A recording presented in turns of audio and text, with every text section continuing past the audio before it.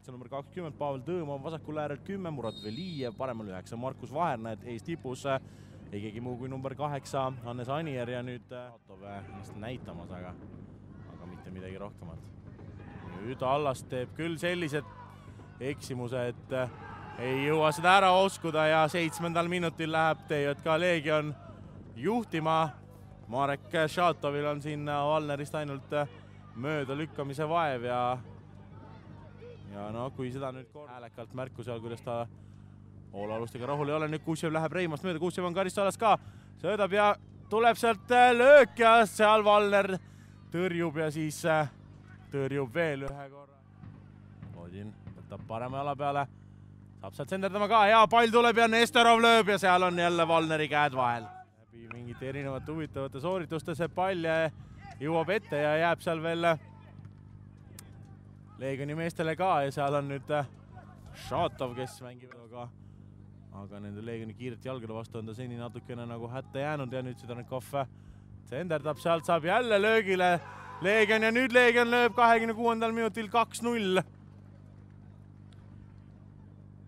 kas oli Maksim Kuusev see mees, kes, kes viimasena või, või oli see Aleksandr Dmitrijev, jõulisemad mehed karistusalas sees. Tuleb tõmbe pall ka sealt, löögile saadakse ka ja läheb see pall õige koha peal nüüd Allast taaskord lükkab siin täitsa oma värava poole selle palli kenasti. nüüd Šatov lööb, Valner pareemade liigutustega selle palli nüüd omaks ka, Tõõmov lükkab hästi Golovjovile, Golovjov läheb lööma ette posti kohe ka ja Londaku jaoks veidi ebamugav. värske pall lööb Prosa, Prosa uuesti teeb seal Tšumadilli ära, võtab parema jala peale ka, Ivkitš jookseb talle eest läbi. Prosa lööb ja oi, kuidas läheb napilt pall sealt värava. vaatame siin ära Kalevi standardolukorra, tuleb pall kasti. Ivkitš taaskord saab sealt löögile ja läheb see pall seekord üle ja ära võtta talt Prosa. Prosa võitleb seal hästi ja pöörab ennast maha ka, nüüd on Kutšev saab löögile ka ja paneb sinna tagumisse posti sellise. Sidorenkov vahel läheb Šatov selle palli peale ka.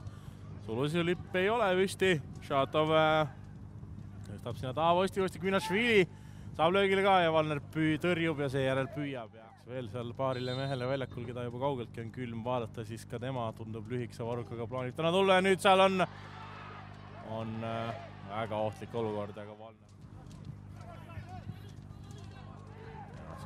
nüüd on võimalus Leegionil veel tulla sealt endavad mehed läbi ka ja Kvinašvili ei suuda ära lüüa sealt ja käib pall latis veel ka, ei suuda Leegion kolmandat ära lüüa, kas Aleksander Dmitrijev saab löögile, ei saa. puhtaks löömise ka. aga pall üle otsejoone läheb ilmselt siit Juri Fischer, jah, tõepoolest Juri Fischeri lõpuvile on kõlanud. Leegion võtab siit kolm-null võidu.